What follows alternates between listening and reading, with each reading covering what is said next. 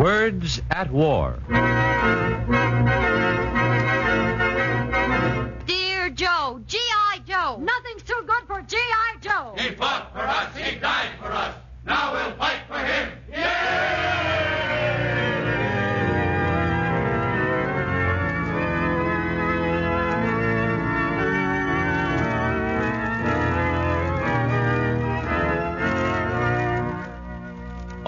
Those who have participated in this series the editor, the director, the writers, the musicians, the announcers, engineers, and actors are proud to be able to continue to bring you one of the most widely discussed programs in America Words at War, dramatizing the most representative books to come out of this great world conflict.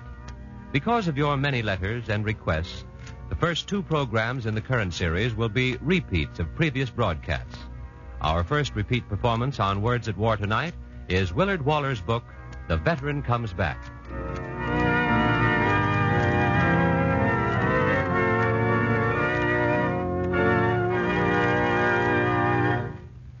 Listen, the time is getting close when G.I. Joe will come home.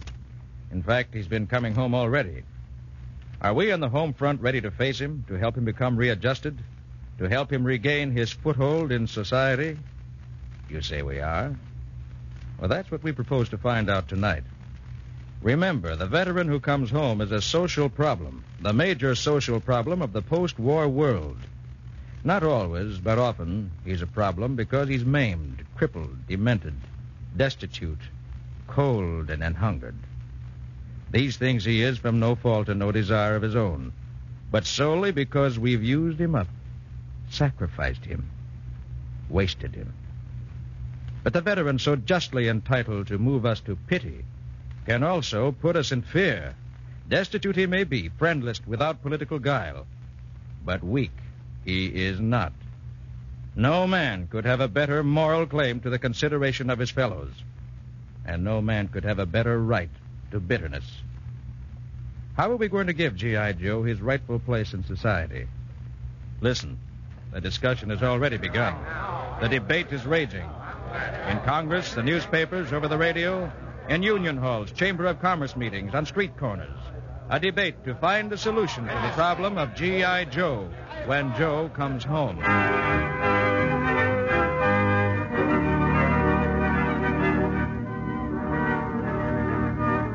I propose, I propose that the boy's coming back in every consideration. Absolutely and positively, I'm for it. Always have been, always will be. Look at my record. Nothing is too good for G.I. Joe. Motion seconded. Motion approved. Motion carried. Dear Joe, G.I. Joe. Nothing's too good for G.I. Joe. He fought for us, he died for us. Now we'll fight for him. Hey, fellas. Hey, fellas, listen to me. There is no one closer to our hearts than G.I. Joe. He is the one to whom everyone in the nation owes a debt of gratitude. He is the one who is making the sacrifices, his life, if need be, on every battlefront in the world. It is him who we must honor, cherish, protect. Our G.I. Joe. Hey, fellas. Wait a minute. I've got something. Let's make it right with G.I. Joe. But how? By giving him a bonus. A hundred dollars. Two hundred. Three hundred. How about jobs? Send them to Alaska. Build a new highway. Give them all the war plans. Does G.I. Joe want that? Of course, seven hundred dollars. Eight hundred. Will that be enough? Negative thousand. No! Dear Joe, G.I. Joe. Nothing's too good for G.I. Joe. He fought for us, he died for us. Now we'll fight for him. Hey, hey, you guys. I want to say something too. I got a ride. Quiet, please. Uh, we're having a discussion. We must take measures at once. To make up for what he's lost. To restore him to health. To give him a better life. A voice in the government. quiet. Oh, uh, pardon me. His rightful place in society. The admiration of his fellow men. The gratitude of the nation. Motion approved. Seconded. Carried. Dear Joe, G.I. Joe. Nothing's too good for G.I. Joe. He fought for us, he died for us. Now we'll fight for him. Hey, about giving me a chance? I've got something to say, too. Who is this guy? I'll tell you who I am. I'm the guy you're talking about. The guy whose face you've spread on all the war bond posters. The guy who's doing the fighting and the dying. And incidentally, the guy whom nobody's bothered to ask for an opinion. Yeah, I'm G.I. Joe. Sorry to bust up your nice, chummy meeting, friends, but I've been listening to your discussion for a long time. And the least I can say about it is, I don't like it. You don't like it, but we're doing it for you, for your own welfare. Maybe, but I still don't like it. But why? Why? Because you've overlooked one important point, friends. One very important point. What? Today, more than at any time in history, the veteran is a threat to society. What? I'll say it again. As a future veteran, I ought to know. The veteran is a threat to society. I heard you say before that nothing was too good for G.I. Joe. That has a familiar ring, fellow citizens. Did you ever hear this uh, poem by Kipling? It's called Tommy Atkins. I went into a theater as sober as could be. They gave a drunk civilian room, but hadn't room for me. They sent me to the gallery or round the music halls, but when it comes to fighting, Lord, they'll shove me in the stalls. For it's Tommy this and Tommy that and Tommy wait outside, but it's a special train for Tommy when the troop ship's on the tide. What is that supposed to prove? It proves, friends, that during any war in history, nothing is too good for the veteran. After the war, nobody gives a damn. But this time, the boys aren't coming back to selling apples, and they're not coming back to charity. This time, if we don't get what we want, if we don't get what we've been promised, if we don't get what we deserve, you can kiss your democracy goodbye. I'm prepared to prove my point. With pages from history written in blood. With record of the veteran's anger. Today, I've come to testify before the nation. To call witnesses. No, no, you can't talk like that. It's against the law. Against army discipline. Let him talk. Let him talk. We want to hear what he's got to say. Yeah, go ahead. Call your witnesses, Joe. All right. My first witness is Private Jeremiah Smith.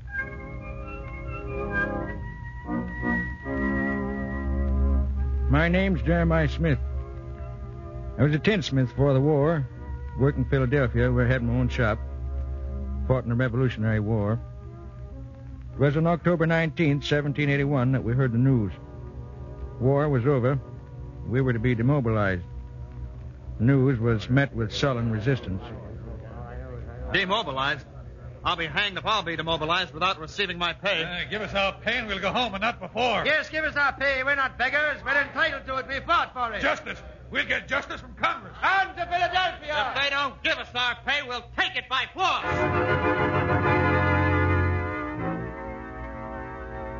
When we reached Philadelphia, we constituted a body of 300 fully armed troops.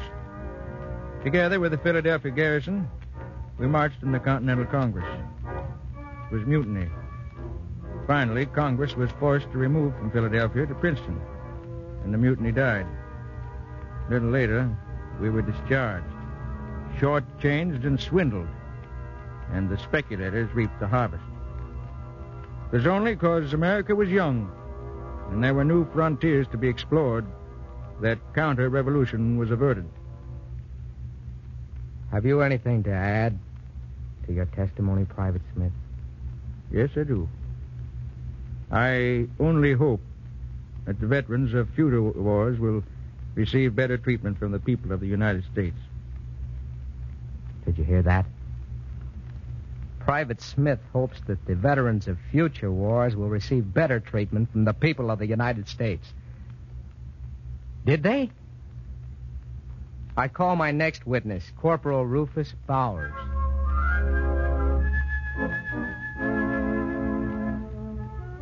I fought in the war between the states, on the Confederate side. You Yankees up north will call me a rebel, but to the people of the South, my people, I was a soldier. After we surrendered, you people in the North imposed your will upon the South. Well, in 1867, we held a meeting. Now I ask you men, how long are we going to stand for this? How long are we going to let the carpetbaggers and crooked politicians tell us what to do? Is that what we fought for in the war? No. You bet it isn't. Does anybody care what happens to the veterans? No. Has anybody given us jobs? No. Has anybody given us land? No. If we want to keep from starving, it is up to us veterans to take matters into our own hands. You said it, Hathaway. What do you propose? A new organization has been formed recently, organized to relieve the injured and the oppressed, especially the widows and orphans of Confederate soldiers. I propose we join this organization and fight with them for the restoration of the South. The organization we joined was the Ku Klux Klan. The whole South became the invisible empire. Our leaders were our officers. Our methods were force, violence, rule by terror. Get that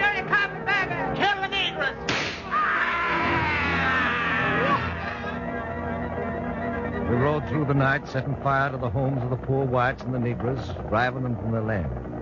We soaked wooden crosses with kerosene and set them ablaze to spread fear through the countryside. We killed.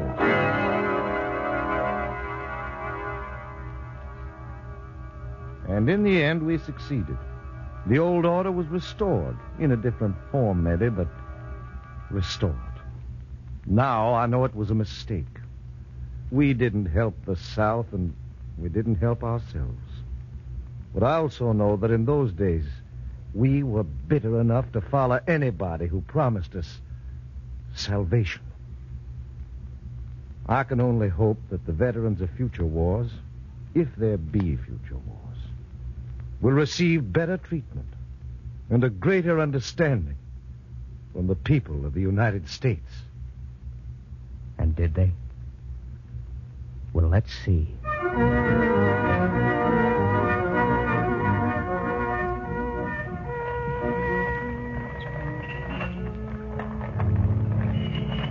Pencils? Buy a pencil, please. Who'll buy a pencil? Anybody want a pencil? Please buy a pencil and help a veteran. Can't you look where you're going, you old bum? Excuse me, lady. You've torn my stockings. Well, I guess you're lucky to have legs, lady. I'll report you to the police. That's what I'll do, you old. Uh, pencils. Buy a pencil, please. Apples, five cents. Cents. Oh, hello, Joe. Oh, hello, Charlie. How's it coming? Selling any today? I was hoping on picking up a dollar. Thought I'd bring some milk home to the kid for a change. Yeah, but I guess today's not the day. Yeah, it's tough. Cold out today. Must be close to zero. Yeah, just like that night on the Argonne, huh? Yeah. Those were the days. We were heroes then, eh, Charlie? Yeah.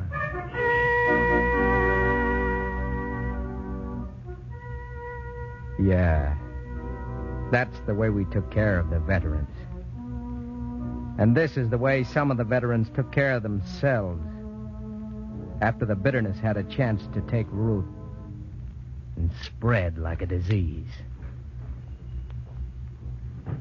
Yes, sir? What can I do for you?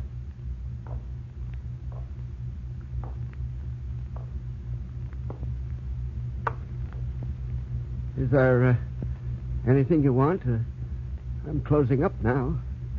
This is a holdup. Hand over the dough. No. No, please don't shoot. I'm an old man. Please, mister. I said hand it over. But it isn't here. I, I took it to the bank and. Open that cash register. Open it. Now, hand it over and don't make a move or I'll plug you. You dirty little profiteer. Getting rich while other guys are out doing the fighting for you. Help! Help, please! You help! dirty little rat. This'll fix you.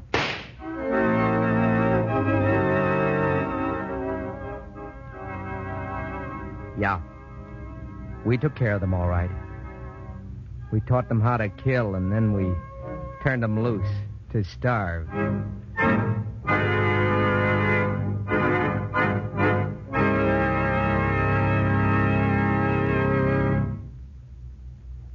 Tonight, Words at War is presenting in dramatic terms the gravest social problem facing America today the return to civilian society of that one tenth of the population which the other nine tenths have used to fight a war. The book is The Veteran Comes Back. We've heard G.I. Joe make the blunt statement that today, more than at any time in history, the veteran is a threat to society and its democratic institutions unless he can be successfully renaturalized into his native land. We've heard from two witnesses, a veteran of the Revolutionary War and one from the Civil War, corroborating the evidence. We've seen what happened to the veteran after World War I. Now the remaining witnesses are ready to testify. Our program continues.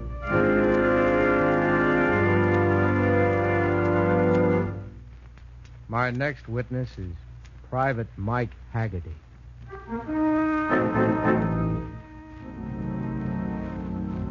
My name is Mike Haggerty. I fought with the AEF in 1918. I marched with the BEF in 1932. Maybe some of you have forgotten what the BEF was. Well, let me kind of refresh your memory. In 1932, the bonus was still unpaid. And the veterans were pretty sore about it. And we had a right to be. We were broke, we had no jobs, many of us were on relief. Our certificates were pledged to the limit. And let me tell you, brother, we were pretty desperate. What are we waiting for? We got our rights, ain't we?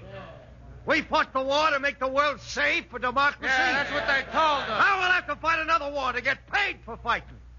I say the only way we'll ever get our bonus is to march to Washington. March to Washington and demand payment from Congress.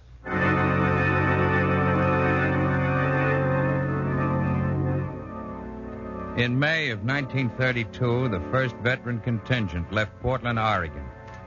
That was the beginning of the BEF, the Bonus Expeditionary Force. We traveled in old jalopies, hitched rides, and rode the rails. And from every state, veterans came to join us.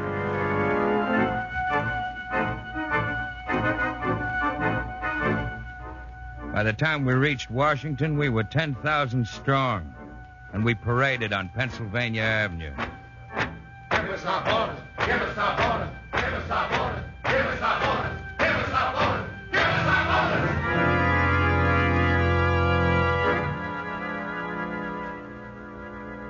our. Soon there were 20,000 of us, camped at Anacostia Flats near the Capitol. Our wives and children came, and we built our shacks and lean tos. The way it looks right now, we'll be here until 1945.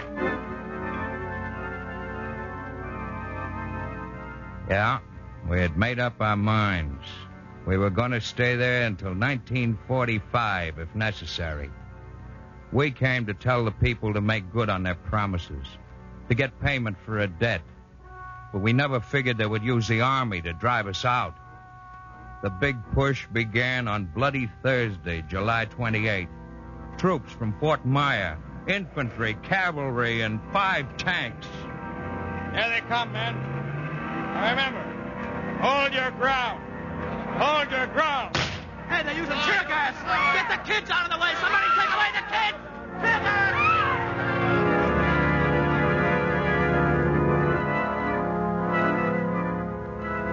With military precision, the troops advanced. Our shacks were burned to the ground. Our bricks were no match for their tear gas and bayonets and their guns. It was the military against the citizenry. Civil war. The BEF failed. But the veterans of future wars won't fail. They'll know what to do. And you take it from me, they'll do it. Oh, what kind of what kind of? We've heard enough. We'll see to it that there won't be another repetition of the bonus march. Ah, let's go home. We're only wasting time. Wait. There are more witnesses. I'm sure you'll find their testimony interesting.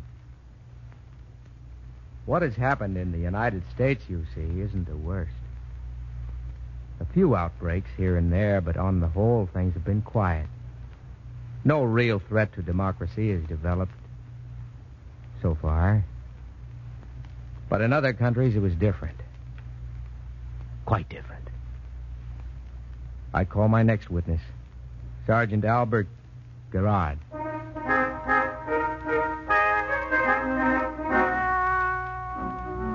I am Albert Gerard, a veteran of France. After the war, I joined the Croix de Feu, a union of French veterans. We were hungry and jobless and had lost faith. We allied ourselves with the fascist organizations of Italy and Germany and installed French fascism. Corporal Hans Baumann.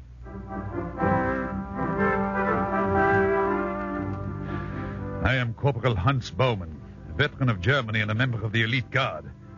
In 1918, we lost the war, but kept the course. People gave us nothing. But there was a man who did. We, the German veterans, helped our Fuhrer Adolf Hitler establish National Socialism in Germany. Private Luigi Romano.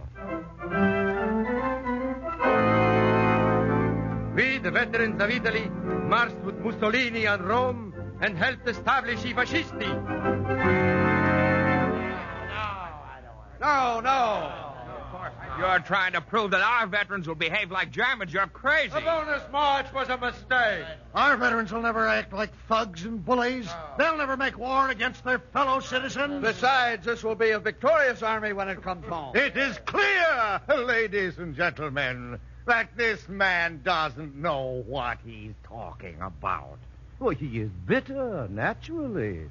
But that will pass away when he comes home and finds his loved ones waiting for him. All the bitterness will evaporate. Evaporate? Don't count on it. We're a democracy and we'll remain a democracy. You hope. Our veterans won't behave like German bullies and Italian thugs. Do you think not? Let me tell you something. Armies are strangely alike. When it comes to war, there's little difference between army made men. There's little difference between veterans of times and places. And there's no difference in the bitterness. I told you you've overlooked one important point, my fine civilian friend. You've overlooked what it means to be a soldier. You know, one of the first things the Army does, it destroys your individual will. Two, three, four. One, two, three, four. Squad! Halt! Right! Face! What's the matter with you, Simpkins?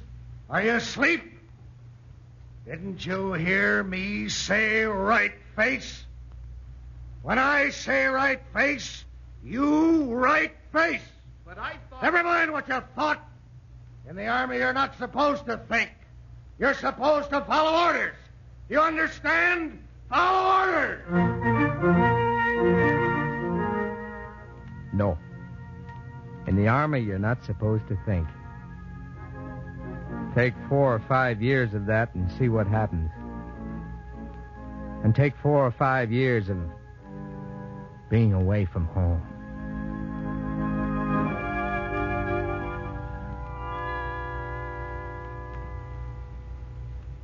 Come on, come on, brace up, kid. It isn't as bad as all that. Don't worry about me, Mac. I guess I just feel blue, that's all. Sure, sure, I know. You're lonely. We all are. It's all right, kid. No. No, it's not all right. It's not all right. I'd just as soon be dead than stay in this hole another day. I'd just as soon be dead.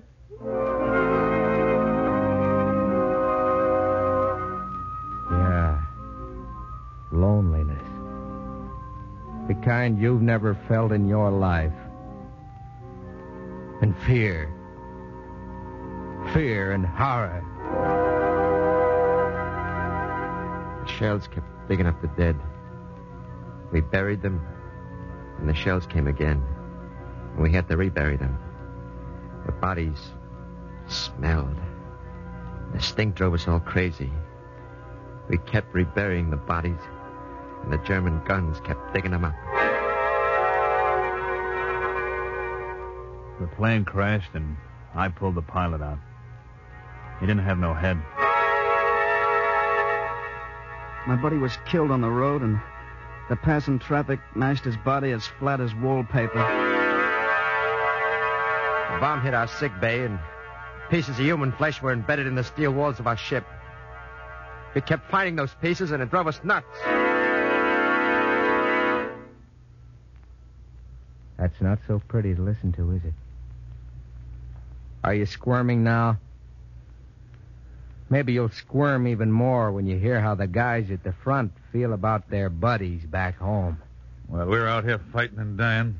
Those guys back home are making the dough. Guys no different than us. Nice fat jobs. Boy, would I like to lay my hands on them. Next on the hating list are the profiteers, the boys who are jacking up the prices so we'll come home to a nice, happy inflation. We'll fix them all right, too. And trailing behind on the same list are the home front soldiers. Hey, listen, you guys. See how you like this. There are men in the Navy who got commissions, although the only ship they have ever seen is a junior partnership. It isn't funny. Not funny at all. Not funny because that hate, that bitterness will become greater as the war goes on. Because that bitterness will be taken out on somebody. And it would be just too bad if it were taken out on the people of America. It would be just too bad if G.I. Joe came home and followed an American Hitler who promised him the things he will not find. What do you propose then? I'll tell you what I want. When I come home, I want to see a better America. What do I mean by that? I mean a society in which there are jobs for everybody. Planned jobs with a decent living wage. I want better housing for me and my family. I want security, social and otherwise. I want you to think of human rights when you begin to reconvert, not just profits. I want a better educational system. I want a health program, medical care for me, my kids, and my family. I want a rehabilitation program. I don't want bonuses and pension. But I do want the same kind of prosperity and peace that you now have in war. I just remember this. When we come home, we'll join our veteran societies. Some the VFW, some the American Legion. If they don't work out, we'll form one of our own. But we'll be there with you in every town, in every county, in every state. We'll be there and we'll be waiting.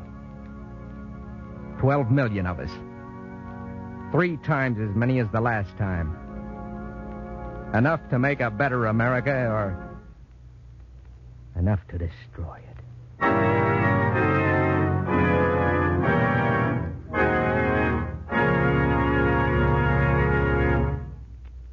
Tonight on Words at War, we have brought you The Veteran Comes Back by Willard Waller. The radio dramatization was by Ben Kagan of the NBC script staff. Lawson Zerbe was heard as G.I. Joe. The music was arranged and played by William Meeder, and the production was under the direction of Joseph F. Mansfield.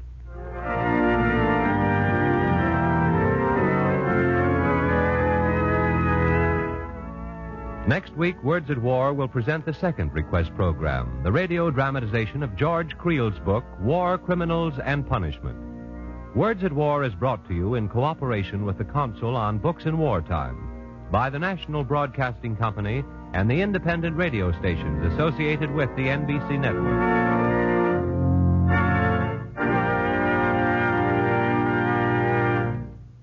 Jack Costello speaking. This is the National Broadcasting Company. Mm-hmm.